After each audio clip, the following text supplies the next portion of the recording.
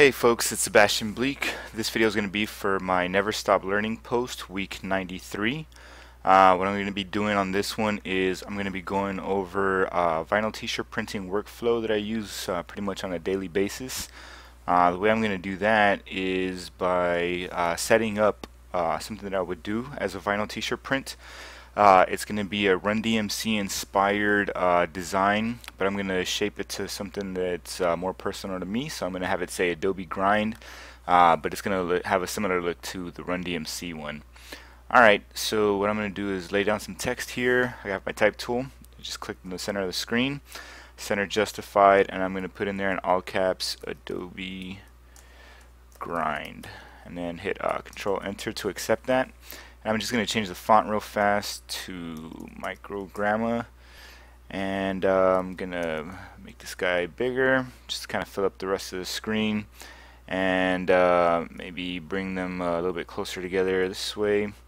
And if you want to learn uh, some of these keyboard shortcuts, I actually um, have a tutorial on my YouTube channel where I'm covering some of those. So you go check those out at uh, Sebastian Bleak YouTube channel and that's how I'm going ahead and getting this whole thing set up here. Alright and since I'm doing vinyl t-shirt printing I actually can't uh, use this as a font so I need to outline it first. And what that does is it uh, turns it into a just basic shapes. If you look into outline mode it went in here and just uh, turned everything into anchor points and paths for me. So here I go back into preview mode. Next to get that um, Run DMC look I want to make uh, those bars that go across the top uh, kind of like this. And those are using a red so I'll just uh, doing a red color right now to represent that. Okay uh, let's see how wide is my text? Right now it's about 7 inches. Let's make it 8 inches wide. And I'll make this bar to match 8 inches wide. Alright there they go. And I'll align these guys to center so that way they're uh, lined up perfectly right here. And um, I'll just make a copy of this bar by holding down the alt button clicking on it and dragging it down. When I select all three of these guys I'll be able to distribute them evenly right here.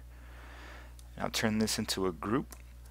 Next what I want to do is um, create a weed border around here. We use that for uh, when we're using vinyl t-shirt printing so this helps us uh, separate our artwork from the vinyl because it comes out in one big sheet and it's kind of hard to tell what's actually what. And I'll just align it in there centered perfectly group that and if you take a look at this in outline mode you see this guy's pretty much ready to go.